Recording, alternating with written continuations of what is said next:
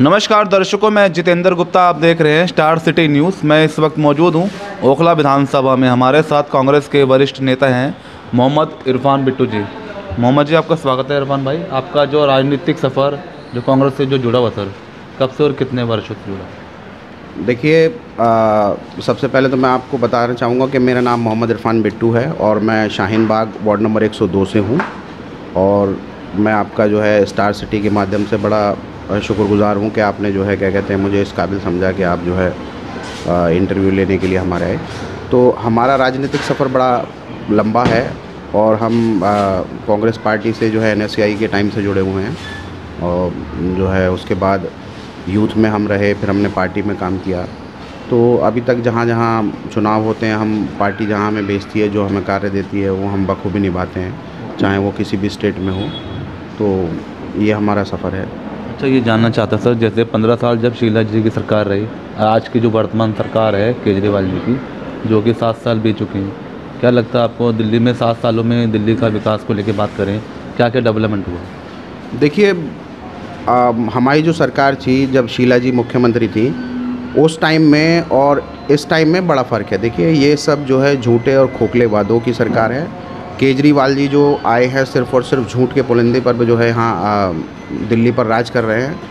और मेरे कहने का मकसद ये है, जितना कांग्रेस ने शीला जी के दौर में कार्य किया है दिल्ली के अंदर, मुझे नहीं लगता कि आने वाले सालों में कोई काम हो पाएगा। आज तक ये देख लीजिए, आप जब यहाँ से मुनरिका की तरफ़ चलेंगे तो फ्लाईओवर है, वहाँ उसका जो साउंड प्रूफ वो शीटें लगी रहती हैं। तो उन जो कांग्रेस ने बनाए थे उन फ्लाईओवर्स के भी मेंटे मेंटेनेंस जो है, वो आम आदमी पार्टी नहीं करा पा रही है सही से। तो अब आप ये सोचिए कि जब वो मेंटेनेंस फ्लाईओवर्स के नहीं करा पा रही है तो वो क्या जो है दिल्ली का डेवलपमेंट करेगी? आप जब हम जैसे हमारे कुछ दोस्त थे, वो गल्फ़ कंट्रीज़ रहते थे तो गल्फ़ कंट्रीज़ में जब जब पूरा दिल्ली बदल रहा था तो जैसे दो साल में या तीन साल में उनका दौरा हुआ कि भाई चलो अपने वतन लौटते थे, वो खाने कमाने के लिए वहाँ गए हुए थे बेचारे। तो जब वो एयरपोर्ट उतरे और उन्होंने देखा दिल्ली तो पूरी दिल्ली चेंज हो चुकी थी। मतलब आप समझ नहीं सकते कि जो आम एक आदमी है वो इतना खुश था प्रफुल्लित था वो बड़ा जोश और खरोश के साथ कैसा था कि यार दिल्ली एकदम चेंज कर दी शीला जी ने। और आश्रम वाला जो फ्लाईओवर है वो आज जो बन रहा है उसका जो पीता कटेगा वो भी शीला जी की दिन है। और ऐसे बहुत सारी चीज़ है। इन्होंने ना तो कोई एजुकेशन पे काम किया है। सिर्फ़ रंग पेंट कराए हैं। आज भी हम अगर पूरी दिल्ली की बात चलिए वो चल रही है लेकिन ओखला विधानसभा की अगर हम बात करते हैं तो ओखला विधानसभा में आज तक एक भी नया स्कूल नहीं बना है। Okay sir. समझ रहे हैं? आपने ठीक है कहीं भी बनाए होंगे लेकिन अक्सरियत जो माइनॉरिटी की जो पॉपुलेशन है वहाँ ना तो कोई आज तक कोई स्कूल मुझे बता दीजिए। शाहीन बाग में अबुल फजल में जाकिर नगर में कहीं नहीं बनाए और एक जो स्कूल हुआ करता था जोगा बाई में वो भी तोड़ के डाला हुआ है। उसको भी जो है शिफ्ट कर दिया कहीं और वो भी आज तक नहीं बना है। सात साल हो चुके हैं। सात साल एक बड़ा लंबा वक्फा होता। है पूरे सात साल में शीला जी ने जो है पूरी दिल्ली चेंज कर दी थी। और क्षेत्र के विधायक जी का कोई काम था? क्षेत्र के विधायक जी तो देखिए वो उन्हें तो फुर्सत नहीं है अपना। वो तो इधर उधर चेयरमैनशिप और यहाँ आप यहाँ चालीस फिटा ले लीजिए। चालीस फिटा जो है कांग्रेस की देने नाला हुआ करता था गंदी बदबू और ये सब होता था। उसमें जब हमारे जनाब आसिफ मोहम्मद खान विधायक थे तो उन्होंने चालीस फिटा बनवाया और चालीस फिटा आज देख लीजिए तब के दौर में बना हुआ है आज तक उसका रिपेयर तक नहीं हुआ है। वो कई जगह से भी साल वक्त हो गया है। सात साल से तो ये लोग उससे पहले बन गया चालीस फिटा। तकरीबन दस साल से दस साल में अभी तक भी जो है उसकी ना कहीं इन्होंने रिपेयरिंग कराई है ना कुछ है कहीं से टूट गया है वही चल रहा है। ना कोई प्रॉपर रोड बना है ना कुछ है और जो गलियाँ हैं ना जैसे अब आठ नंबर से उतरेंगे जो लेफ़्ट पे और राइट पे जो गलियाँ या शाहीन बाग की या बुलफजल की जो छोटी गलियाँ हैं वो आज तक नहीं बनी गंदगी इतनी है पानी भरा रहता है। और जबकि यहाँ की जनता ने पिछली बार जब काउंसलर का चुनाव हुआ था 2017 में तो ये कहा था कि विधायक भी जो है आम आदमी पार्टी का है और काउंसलर भी आम आदमी पार्टी का होगा तो विकास होगा। बिल्कुल। समझ रहे हैं? तो मैं मैं ये पूछना चाहता हूँ जनता तो बेचारी देखिए भोली भाली है उसको तो बेवकूफ़ बना लिया। लेकिन आगे नहीं बना पाएँगे। अब जो 2022 में चुनाव है एमसीडी का, उसमें नहीं बना पाएँगे, उसका वो करारा जवाब देगी जनता। तो वो गलियाँ जो हैं, आज भी उनमें पानी भरा रहता है। मैं आपको अगर आप चलेंगे तो दिखाऊँगा कि लोग जो है, उसमें पानी में चल के चलने को मजबूर हैं। ऐसी भी दिल्ली है। जबकि ये कह रहे हैं कि दिल्ली को हमने जो है पेरिस बनाएँगे वर्ल्ड क्लास सिटी बनाएँगे, कुछ नहीं बनाया है। सिर्फ़ और सिर्फ़ विज्ञापन पे है। विज्ञापन पे पैसा खर्चा करते हैं और कुछ नहीं कर रहे हैं। अच्छा इरफान भाई, आपका किस प्रकार का लोगों के बीच जनसंपर्क है?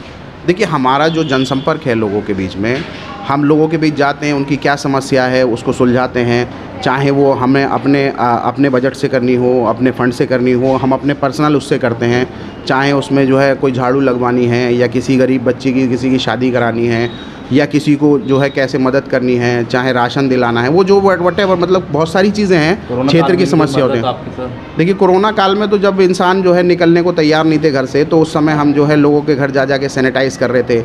जब मज़दूर इधर से उधर बेचारे जा रहे थे, थे परेशान थे तो उनको हम जो है यहाँ से छोड़ने का कार्य कर रहे थे। मान्य अनिल चौधरी जी हमारे दिल्ली प्रदेश अध्यक्ष उन्होंने बहुत काम किया। उनकी अध्यक्षता में हमने राहुल जी प्रियंका जी, सोनिया जी और चौधरी अनिल कुमार जी की अध्यक्षता में हमने दिल्ली में इतना काम किया है कोरोना काल में कि ये मिसाल है एक। आज तक उठा के देख लीजिए, कांग्रेस ने हमेशा जो है जनता का साथ दिया है और गरीब मजलूम और मज़दूरों के साथ खड़ी हुई है। वो पार्टी ही जो है गरीबों की कहलाती है। और यहाँ से जो है मज़दूरों को हमने उनके स्थान पे छोड़ा, उन्हें राशन, उन्हें टिकट कराना, उनके पैसे जिस पे नहीं है उसका इंतज़ाम करना, रहने की व्यवस्था करना, वो सब कराया। उसके बाद जो है हमने मैंने तकरीबन लगातार छियासी दिन किया सैनिटाइजेशन अपनी पीठ पे वो टांग करके और पूरी दिल्ली प्रदेश कांग्रेस कमेटी ने किया।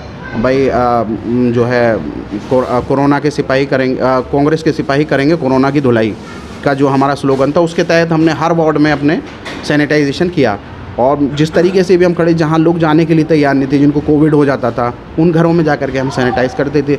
लोगों की एक्सपेक्टेशन थी हमारा मानना था कि लोग वैसे ही परेशान हैं तो हम जा कर के कम से कम उनको ये होता था सैनिटाइज़ करते थे तो उनको एक वो आ, मतलब मनोबल मिलता था कि भाई हाँ ठीक है कि मतलब एक मनोबल जो जा कर के इंसान देता है उसे तो लड़ने की क्षमता और बढ़ जाती है। तो बहुत सारे लोग ठीक हुए और आज भी मिलते हैं बेचारे दुआएँ देते हैं। अच्छा मिशन 2022 चुनाव आ रहा था एमसीडी को लेकर बात कर लेते हैं। पंद्रह साल दिल्ली में जैसे एमसीडी भाजपा में है काफ़ी आम आदमी पार्टी भी अपने अपने वादे करके कि दिल्ली में इस बार मेजोरिटी से आम आदमी पार्टी कह रही कि हम सरकार बनाने जा रहे हैं। तो कांग्रेस की क्या इस बार तैयारी है क्या एजेंडे हैं इन पर देखिए कांग्रेस के तो एजेंडे अपने साफ़ हैं। जनता को भी पता है कि केजरीवाल ने कितना काम किया है और आ, आ, जो भाजपा है भाजपा ने तो पूरा देश ही जो है आ, पूरा एकदम देश को मुझे लगता है बीसों साल पीछे कर दिया है। दोबारा से आना पड़ेगा। मुझे मुझे पता नहीं क्यों ऐसा लगता है कि दोबारा से अपना बीन और साफ़ सफ़ेद हुआ देश ना हो जाए हमारा। समझ रहे हैं नहीं, इतना पीछे चला गया है। आप जितनी भी सारी संस्थाएँ भेज दी, आपने आपने, चलो एयर इंडिया तो अभी बिका है रेलवे का प्राइवेटाइजेशन कर दिया, सारी जितनी भी वो हैं, सब सब, सबका प्राइवेटाइजेशन कर दिया। तो कौन देखो, पुरखों की जो ज़मीन और जायदाद जो उनके माल बनाए हुए बेचता है तो वो तो बर्बाद हो जाता है। ये तो घर की ही वो है। तो आप अपना नया बनाइए, उसको जो भी है, लेकिन कुछ नहीं बनाया। ना जो है कोई पॉलिसीज़ हैं किसानों के लिए जो सिर्फ़ अडानी अंबानी को ही दे रखा है कि सब कुछ वही करेंगे। भाई बाकी किसान कहाँ जाएगा? तो आप जो किसान इतने दिन से धरने पे है आप उनकी मांगे क्यों नहीं? क्या मतलब क्यों ज़िद है? भाई है तो देश ही देश ने आपको बनाया। तो जो जो भी कानून में उसको संशोधन करके ख़त्म करें। तो लखीमपुर में जो घटना हुई थी किसानों के देखिए ये तो जो है सत्ता में चूर है। बिल्कुल एकदम जो वहाँ के गृह राज्य गृह मंत्री हैं वो बिल्कुल सत्ता में चूर हैं। हफ़्ता भर उन्हें शपथ लिया नहीं हुआ और उन्होंने जो है देखिए कैसे बेचारे जो किसान हैं उनको रौंद करके कैसे गाड़ियाँ निकल जाती हैं। और आज तक ये इतना कांग्रेस ने संघर्ष किया है और कांग्रेस ने ही किसानों की आवाज़ उठाई है। प्रियंका जी जब गई तो उनको जो है बगैर किसी उसके उनको तीन दिन सीतापुर गेस्ट हाउस उसमें गेस्ट हाउस में रखा गया बंदी बना करके। okay. समझ रहे हैं? तो तीन दिन बंदी बना के रखा गया बिला वजह, और सिर्फ़ उनका दोष क्या है कि वो जो है उसके परिवार से मिलने जा रही हैं? तो तो कोई गुनाह नहीं है। भाई, हमारा कानून जो कहता है, कानून के खिलाफ थोड़ी जा रहे हैं हम। हम तो कानून के तहत ही जा रहे हैं। भाई, किसी का अगर कुछ हो जाता है, कोई ट्रेजडी ट्रेजडी हो जाती है तो उसके परिवार से कोई मिलने जा रहा है, वो कोई कानून के खिलाफ नहीं है। उनको तीन दिन बना के रखा, राहुल जी यहाँ से गए, फिर छोड़ा। उसके बाद जो है उन्हें परिवार से मिले, उनको सद्भावना दी, उसके और मांग की कि भाई गृह राज्य है जो गृह वो जो गृह मंत्री हैं उनको बेटे को गिरफ़्तार किया जाए और उनको जो है बर्खास्त किया जाए। अच्छा आज का तो जो सर महँगाई का दौर जो बढ़ रहा है हर चीज़ में सब्जियों में दालों में पेट्रोल में इस पर आप कुछ कहना चाहिए देखिए जब देश में कोई काम ही नहीं होगा देश कहीं जो है दूसरा कोई रिसोर्सेज नहीं होंगे दूसरे रिसोर्सेज नहीं होंगे तो सिर्फ़ तेल से चलेगा। समझ रहे नहीं? तो सिर्फ़ तेल से चलेगा जितने ये I S I P S और जो सरकारी जो महकमे हैं इनकी तनख्वाहें कहाँ से आएँगी? भाई, इनकी तनख्वाह भी तो देनी है। और जो है अपना वर्चस्व भी कायम करना है, इतना दल बल लेके चलना है सारे। भाई, केजरीवाल जी जो आए थे हमारे, वो तो बीजेपी की बात होगी। अब हम दिल्ली स्टेट में अगर केजरीवाल की बात करें तो उन्होंने कहा था कि हम वीआईपी कल्चर ख़त्म करेंगे। आज उन्होंने इतना वीआईपी कल्चर ख़त्म कर रखा है कि उनसे कोई मिल नहीं सकता जा कर के। पूरे दल बल के साथ चलते हैं। पूरी सिक्योरिटी होती है, पूरा एकदम बंगला मिला हुआ है। कहाँ है आज केजरीवाल जी? अच्छा इस चुनाव के दौड़ में आप हैं सर? आप किस वार्ड से तैयारी कर रहे हैं? देखिए मैं 102 एस अबुल फजल इंक्लेव अ, अबुल फजल नाम अबुल फजल 102 वार्ड है और मैं यहाँ से तैयारी कर रहा हूँ और काफ़ी समय से लगा हुआ हूँ और मैं यहाँ का लोकल हूँ मेरा अपना मदर वार्ड है ये और यहीं से अगर पार्टी मुझे टिकट देती है तो मैं इन जो है पार्टी की झोली में ये सीट निकाल करके डाल दूँगा। परफॉर्मेंस रहेगी सर? आम आदमी पार्टी बीजेपी के सामने आपकी टक्कर? नहीं, देखिए, हमारे यहाँ बीजेपी का तो कोई सीन नहीं है इस सीट पे। और आम आदमी पार्टी ये है कि आम आदमी पार्टी को जो है जो इन हम शिकस्त देंगे और जनता जो है उसके पूरे खिलाफ है। और इन्होंने जो आम आदमी पार्टी का जो एजेंडा था, जो घोषणा पत्र था काउंसलर चुनाव में, उनका ये था कि भाई सबसे पहले हम जो है यहाँ कूड़े का डंप यार्ड बनवाएँगे।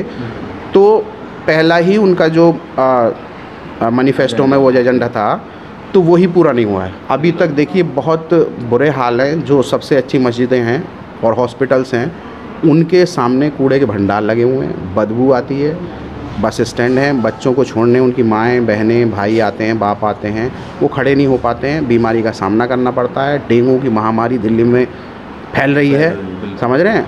उस पर कोई रोकथाम नहीं है ना कोई फॉगिंग है ना कुछ है सिर्फ़ राम भरोसे चल रहा है और ये जैसे चलेगा वैसे ही जनता इनको चलाएगी अब।